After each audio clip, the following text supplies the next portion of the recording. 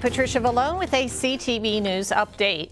For the second time in 13 months, the U.S. House of Representatives is on track to impeach President Trump. The hearings got underway this morning.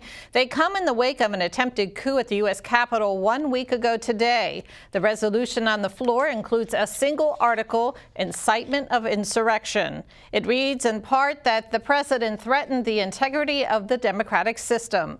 As expected, Republicans accused Democrats of rushing to judgment and attempting to divide the country. Here is some of that debate. The President of the United States is an insurrectionist. He led an insurrection against the United States of America. Right now, our focus should be on healing, healing our nation. With so many upset and dismayed at the actions of last week, it's our responsibility to chart a path forward to subdue the growing animosity and find ways to heal our country. Unfortunately, I don't believe this resolution will achieve those goals, especially seven days ahead of the inauguration. Trump basically attempted to overthrow the government, to violently overthrow the first branch of government, this Congress. America, we did stop the steal. We stopped Donald Trump from stealing our democracy and imposing himself as a tyrant.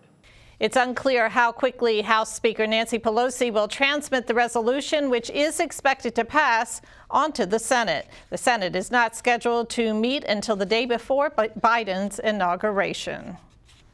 Today marks the start of the 442nd Maryland General Assembly session and what's expected to be anything but business as usual.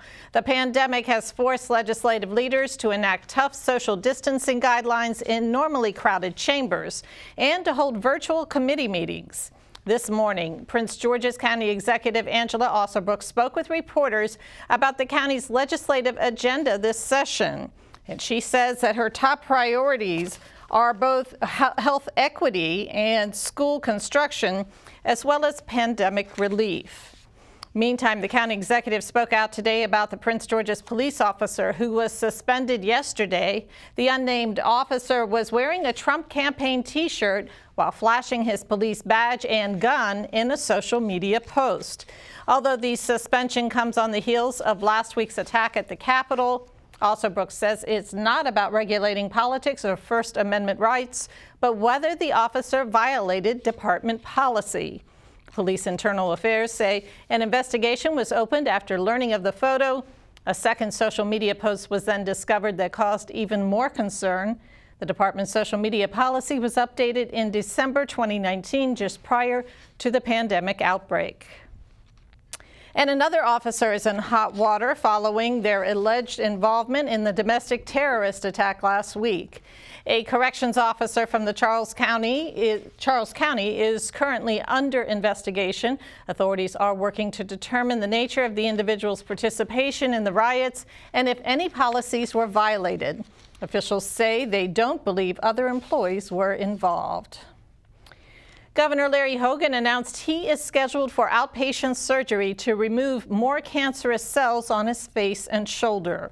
Hogan made the announcement this morning just prior to the start of the legislative session. The basal and squamous cell carcinoma is in the early stages, according to a tweet from his office. The governor has been treated for this type of skin cancer in the past. He was also diagnosed and treated for non-Hodgkin lymphoma in 2015 only five months into his first term. Later that year, he announced he was in remission after months of chemotherapy. Governor Hogan announces several new appointments today, including two in Prince George's County. Delegate Michael Jackson will replace former Senate President Mike Miller in his District 27 seat. Miller recently resigned due to ongoing health concerns. No word yet as to who will replace Jackson in the House. Judge Brian Bariano was also appointed to the Prince George's District Court, and Dennis Schrader was nominated for Secretary of the Maryland Department of Health. Well, here are the latest COVID-19 numbers. More than 2,500 Marylanders have tested positive for the disease over the past 24 hours. 37 people have died. The state's positivity rate remains relatively high at 8.53 percent. Prince George's continues to see the highest number of people infected with the disease since the beginning of the pandemic. That number stands at nearly 61,000 people. And you are watching CTV News. I'm Patricia Vallone. We'll be back with more in just a moment. For the latest information on COVID 19 in Maryland, visit the State Health Department website. That's health.maryland.gov. Again, health.maryland.gov. Click the link to the COVID 19 information portal. There you'll find all the latest information about coronavirus. You'll find daily updates on cases and fatalities. Answers to questions about testing and the governor's stay at home order are available as well. For specific information about Prince George's, visit princegeorgescountymd.gov. That's princegeorgescountymd.gov. The site offers information about local services for residents and businesses. There's a link for COVID 19 relief donations. Also, food pantry locations are listed. And if you have any questions, call the county COVID 19 hotline at 301 883 6627. That's 301 883 6627.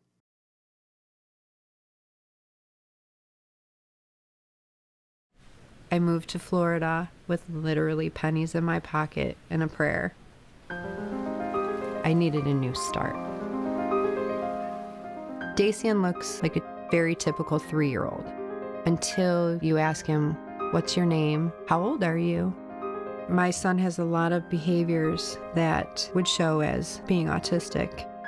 Most kids can tolerate a variety of foods, but unfortunately for Dacian, everything has to be organic and raw.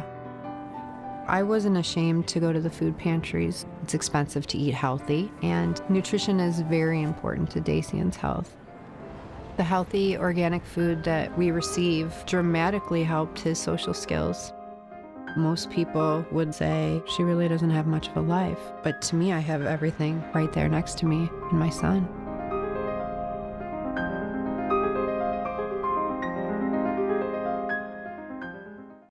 Maryland State Police identified the victim in a fatal two-vehicle crash in Lanham late last night. The victim is 47-year-old Carlos Chavez. According to officials, Chavez was traveling eastbound on Route 5, or Route 50 rather, when his vehicle left the roadway. That's when he struck a tractor trailer that was parked on the shoulder. He was pronounced dead on the scene.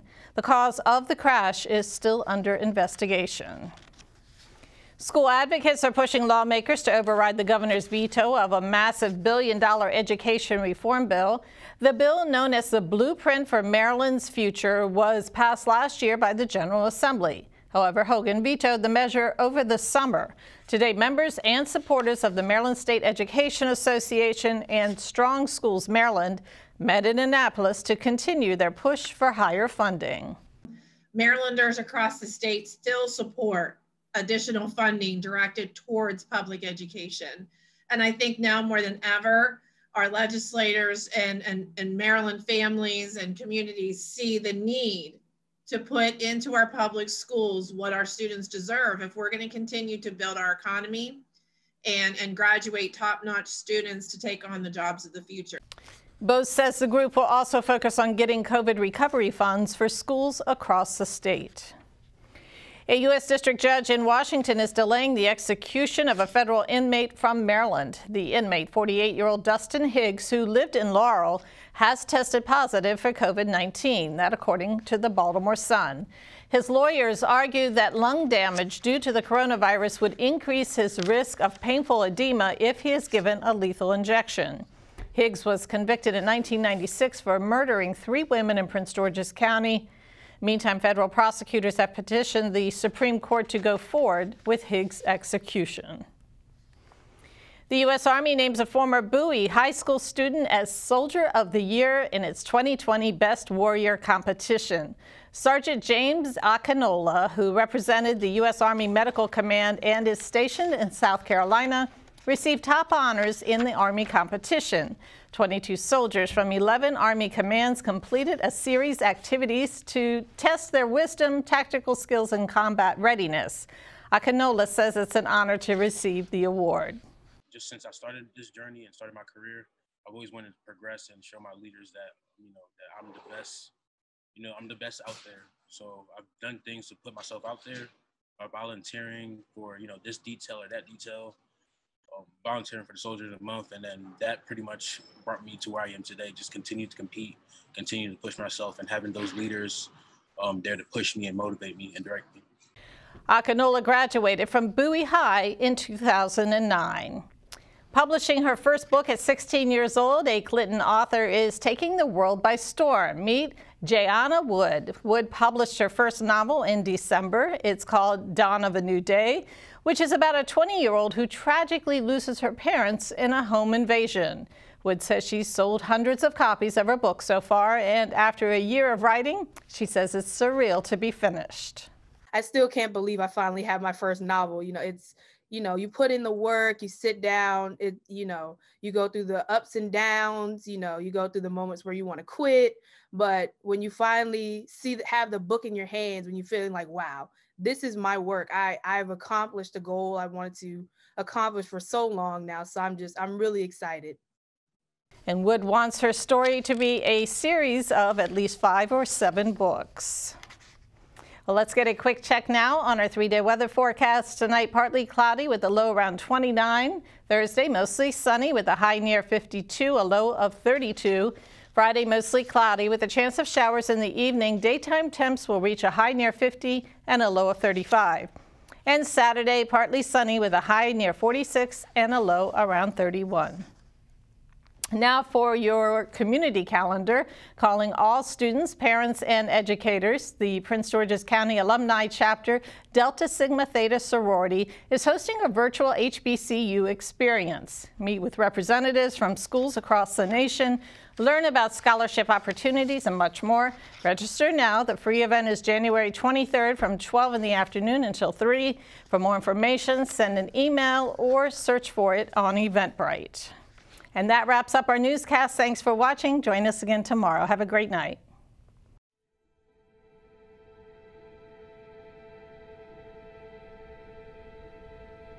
I am what child hunger looks like in America.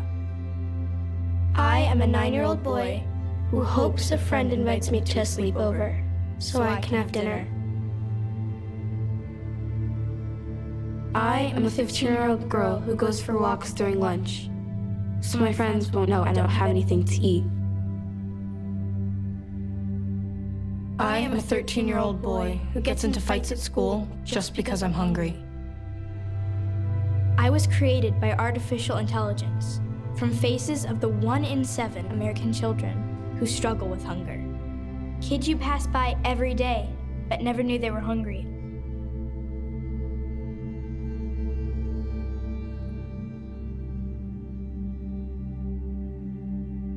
Feeding America, 200 food banks strong.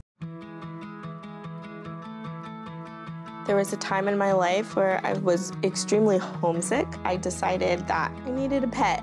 When I first saw a turtle, my heart was full. He jumped up and kissed me and like jumped right into my arms. I immediately went up to the volunteers at the shelter and said, I want him. Like, He's got to come home with me. Not anything but lonely.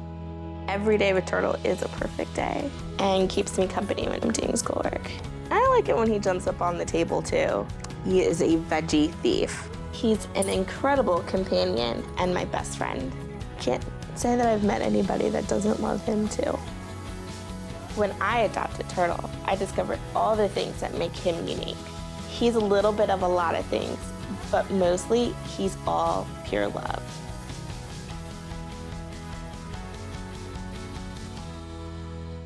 The coronavirus has affected the African American community in many ways, including a drastic drop in blood donations.